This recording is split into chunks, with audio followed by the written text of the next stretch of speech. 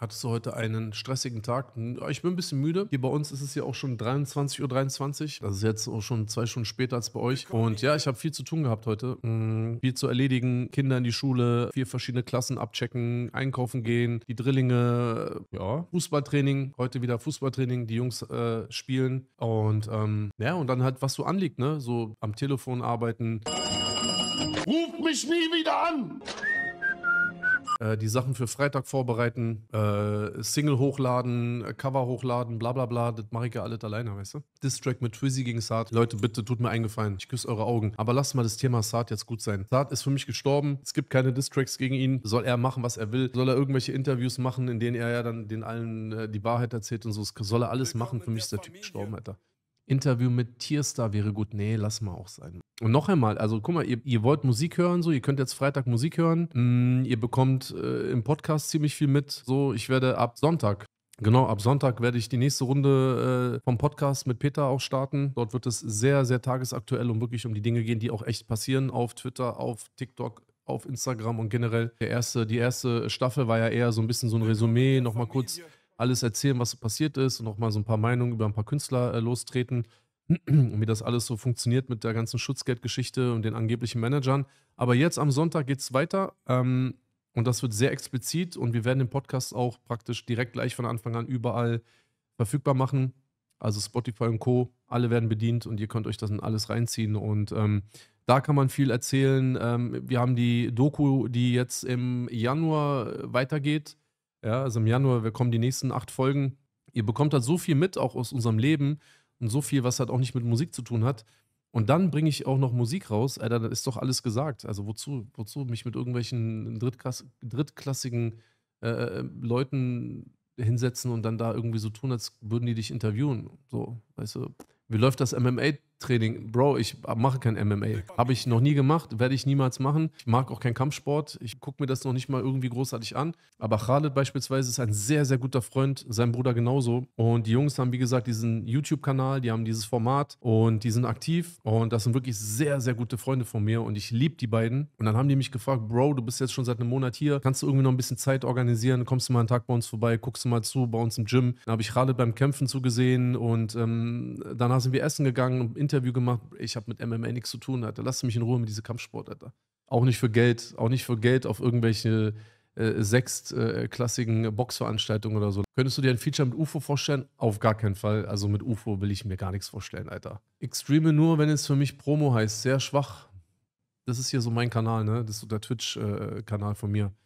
Und letztlich kann ich mir doch eigentlich auch aussuchen, so ähm, wann ich streame und was ich in diesen Streams dann noch mache. So. ansonsten, ich zocke auch ab und zu, aber ich muss auch ganz ehrlich sagen, ne, ich habe heute auch einfach sehr gerne einfach meine Ruhe auch beim Zocken. Ja, ich bin auch viel am Computer und so. Klar, jetzt war ich mal einen Monat nicht hier, aber ich habe doch einfach keinen Bock. Ich genieße das dann noch sehr, dann hier zu sitzen und dann guckt mir halt keiner zu. Und wenn es dann halt irgendwie was gibt, was dann halt so interessant ist, so wie jetzt letztens mit Shindy und Farid und Kollega und so, dann komme ich online, dann rede ich darüber, ne? oder die Sache mit Sinan, dann komme ich online, dann spreche ich darüber, gucke ich mir das an. Es gibt Frauen, die sitzen, die liegen mit irgendwelchen äh, Bikinis in Badewannen, Alter. So, weißt du, ich meine so, denen sagt man auch nicht so, was fällt euch ein hier im Bikini in der Badewanne. Also mich will keiner im Bikini sehen, mich will auch keiner in der Badewanne sehen. Ich will auch wirklich auch nie wieder irgendjemanden in der Badewanne sehen.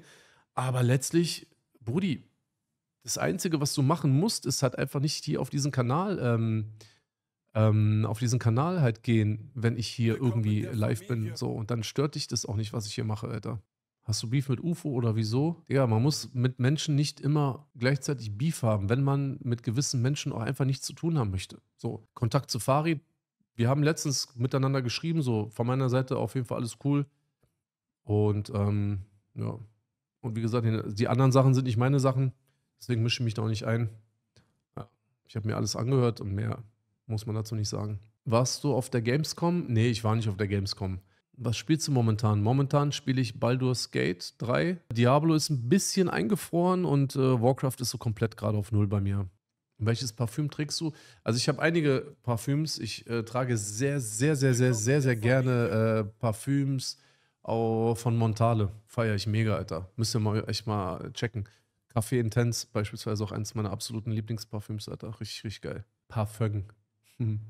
Spielst du Overwatch? Nee, auf gar keinen Fall. Digga, Alter, Overwatch habe ich einmal, glaube ich, mit Deja gespielt vor Jahren und dann nie wieder. Deja tut immer so, als wäre das ein cooles Spiel, aber bei, also fühle ich nicht. Bin auch jetzt nicht so ein Ego-Shooter und so. Letzte Serie, die ich geguckt habe, ähm, also ich bin in letzter Zeit sehr, sehr viel geflogen und ich habe mir so ein paar Sachen runtergeladen und das, was ich wirklich so jetzt wieder so komplett am Stück geguckt habe, ist äh, Family Guy. Family Guy ist einfach, boah, Hammer, Alter. Einfach so geil, dass ich einfach wieder von vorne angefangen habe. ABK-Video zu Manuelsen, Jungs, das ist doch auch schon so ausgelutscht, Alter. So. Und ich, also ich, mich juckt irgendwie beides nicht so richtig, muss ich ganz ehrlich sagen. Also ABK habe ich ja überhaupt keinen Draht zu, ist mir auch ich schnuppe komplett und über Manuelsen muss ich ja wohl nichts sagen, Alter. Sag mal was zu Kapital, dem Junkie. Was soll ich dazu sagen, Alter? Ich glaube, das ist alles. Äh alles gesagt. Shindy, Shirin David, wie findest du die Combo? Ah, feier ich nicht. Feier ich nicht. Ich feier Shindy, aber ich feier halt Shirin auch überhaupt nicht, Alter. Ähm, ich kann verstehen, dass Shindy sich da so ein bisschen äh, damals eingeklinkt hat, so, weil äh, kam natürlich auch maximaler Erfolg zustande von ihr. Kann ich nichts mit anfangen, Alter. Meinung zu Echo, schwierig. Schwierig. Eigentlich habe ich nichts gegen ihn, ne? So überhaupt gar kein Front oder so, aber das ist mir immer zu viele Sticheleien und zu viel so auf äh, cool machen und so bla bla bla und es ist halt so komplett unnötig. Weil wenn er irgendetwas wollen würde oder wenn er mir irgendetwas zu sagen hätte, dann könnte er mir schreiben, ich würde ihm meine Nummer schicken, wir könnten telefonieren, wir könnten alles aus der Welt schaffen. Ähm, aber immer von Seite und so, das ist, weiß ich nicht so, das, ist, das muss nicht sein. Deswegen habe ich gar keine Meinung zu dem. Alles cool. Hamad 47 Interview, auch das ist so wie äh, Farid Bang Intro. Jungs, guck mal, der Zug ist doch schon längst weg, Alter. Ey, hier sind manchmal Sachen dabei, ne? Ist unglaublich, Alter. Kane und Bayern München Meinung. Das ist nochmal was Gutes. Das ist auch ein heiß diskutiertes Thema, auch in den letzten Wochen äh, in meinem Umfeld gewesen. Also ich feiere Harry Kane überhaupt gar nicht. Ja, ich feiere den nicht. Und äh, 100 Mille plus Zahlen und so. Ey, ich bin kein Fußballexperte. Ich bin auch kein äh, Clubmanager oder sonst irgendwas. Aber Jungs, also keine Ahnung. Das ist mir nichts. Ähm, es gibt einen Verein, der mich sehr positiv überrascht hat und der absolut wirklich auf meiner Respektliste und auch auf der Liste so, ich gönne dem Verein das Maximale an Erfolg, ist einfach Union Berlin. Ist einfach so. Ist einfach so. Union Berlin, unglaublich. Krass Respekt. Also, was die sich aufgebaut, aufgebaut haben, ähm, das ist schon wirklich sehr, sehr stattlich. Und was ich auch richtig geil fand, ne, wirklich, es ist, also guck mal, so spielt auch das Schicksal wieder, ne? So, und das ist auch, da sollte man sich auch dran erinnern, so an Hochmut kommt äh, vor dem Fall. Ähm, ich weiß jetzt nicht, ob ihr das alles so mitbekommen habt, aber so Hertha und Union, das ist ja auch so eine spezielle Geschichte. Und Hertha, so, ja, wir sind Bundesliga und Olympiastadion und die einz, der einzige Club in der Stadt, hier, Alter, der einzige Club in der Stadt spielt ja zweite Liga und Union spielt einfach Champions League im Olympiastadion. Geil, Alter. Feier ich. Hertha, größter Drecksverein. Auch wenn ich mir jetzt hier eine Menge Feinde mache, Hertha kann mir so gestohlen bleiben. Richtiger Chöp-Verein, Alter, ohne Witz. Richtiger Chöp. Gala oder Fenner, ich habe keinen Bezug zu türkischem Fußball, also da kann ich euch nichts sagen. Der eine will das hören, der andere will das hören. Ich sage das jetzt nicht, damit einer von euch beiden sich freut. Ich habe mir ist türkischer Fußball egal. So. Messi und Miami, ja, also brauchen wir ja auch nicht so drüber quatschen, Alter. Das ist natürlich alles so, ja, es ist halt auch alles ein bisschen halb Halbseiten so, ne? Irgendwie Ronaldo und Benzema und äh, Mané und ähm, Firmino und wie sie alle heißen in, in der Saudi League und Messi jetzt in Amerika und so. Boah, weiß ich nicht, was ich davon halten soll, Alter. Weiß ich nicht. Also klar, Messi und Ronaldo sind beide in die Jahre gekommen, sind beide unglaubliche Spieler ich will mich auch gar nicht entscheiden, so zwischen entweder Ronaldo oder Messi. Ich denke mal, die beiden Spieler gehören einfach zu den wenigen Spielern, die auch definitiv als Legende und für immer auch in die Fußballgeschichte eingehen werden. Deswegen will ich mich da gar nicht äh, entscheiden. Ähm, also meine ganzen, also meine Kinder, also meine beiden Söhne sind absolute Ronaldo-Fans. Da hat Messi keine Chance. Ich bin da so ein bisschen ähm, ein bisschen äh, äh, entspannter. Aber so eine Topspieler in dann so schwachen Ligen, ja gut, muss man, muss man wollen. Letztendlich verdienen die halt eine Menge Kohle, Alter. Und ich wäre auch für die Hälfte, würde ich da auch Fußball spielen. Gar keine Frage. Überhaupt keine Frage. Also wenn mich irgendjemand hier verpflichten will oder so, dann äh, kein Thema, Alter. Hast du Kontakt zu Haftbefehl? Ich habe keinen Kontakt zu Haftbefehl. Überhaupt nicht. Also zu dem Rapper Haftbefehl habe ich keinen Kontakt. Den einen oder anderen Haftbefehl habe ich auch schon beantragt in letzter Zeit, ja schönste Ort, wo du bis jetzt warst. Das hört sich jetzt vielleicht echt ein bisschen schmierig an. Ich habe sehr viele schöne Orte auf der Welt gesehen. Äh, Malediven, Costa Rica, Mauritius, Seychellen, Australien, ähm, Istanbul, keine Ahnung, gibt es einige, ja, wirklich einige davon. Aber für mich der schönste Ort ist hier bei mir zu Hause. Wirklich, das ist einfach der schönste Ort. Ich bin heute wieder mit den Kindern durch Dubai gefahren. Wir haben so ein paar Sachen äh, besorgt und auch auf dem Fußballplatz beim Training und so. Es ist einfach, es ist überall jemand da für alle möglichen Dinge, steht immer überall jemand, der das dann auch erledigt und es ist alles möglich und ja, kein Problem und immer gute Laune und alle höflich. Auch die Emiratis hier in Dubai sehr respektvoll und so und es ist so schön hier. Dann noch mit der eigenen Familie, dann dieses Wetter und ähm, dieser warme Wind und dieser, oh, so geil. Schönste Ort ist einfach zu Hause, Alter. Ohne Witz. Warst du bei der WM in Katar? Nee, habe ich nicht geschafft. Ich muss auch sagen, so die WM hat mich nicht so gecatcht. Das liegt gar nicht, also es liegt überhaupt nicht an, an, an Katar. Wäre auf jeden Fall auch ein Katzensprung gewesen. Ähm, aber ey, brauchen wir ja nicht drüber sprechen, Alter. Ne? Und die deutsche Nationalmannschaft ist auch einfach so eine Obertrümmer. Chöp-Truppe, Alter, des Todes, wirklich. Normal, dass die höflich sind. Bro, Geld macht's möglich. Guck mal, Black, Haw Black Hawk One. Das hat überhaupt nichts mit Geld zu tun. Da sieht man mal wieder, dass du wahrscheinlich irgendwo in deiner Schublade äh, in, in sonst wo sitzt. Ähm, ja, mit viel Geld, Dubai gut. Ey, ja, Dubai ist teuer. Definitiv ist Dubai teuer, ja, aber äh, wenn man einen, aus einem bestimmten Bereich eines des Berufslebens kommt, ja, und ähm, sich das leisten kann, auf jeden Fall, klar, muss man können. Aber dass die Leute hier freundlich sind und so, das hat überhaupt nichts mit Geld zu tun, Mann. Das ist wieder so ein, so ein, so ein wie nennt man das, äh, so ein Scheuklappending, ey, weißt du, so, das ist auch wieder so, boah, Alter. Wie ist der Döner in Dubai? Ich habe in Dubai noch keinen Döner gegessen, werde ich auch nicht. Ich werde nur in Berlin Döner essen. Ich habe auch in Bochum keinen Döner gegessen. Ich habe auch in Gelsenkirchen keinen Döner, Döner gegessen. Ich habe in Dortmund keinen Döner gegessen. Ähm, egal, wo ich überall war in Deutschland, ich esse nur in Berlin Döner und dabei bleibt es auch, Alter. In Griechenland war ich auch schon mal, ja. Kreta. Auf Kreta war ich schon mal mit der Familie. Wann machst du mit Anna-Maria bei Sommer aus der Stars mit? Äh, daraus wird nichts. Mm. Keine Chance. Kriegt meine Frau nicht überredet.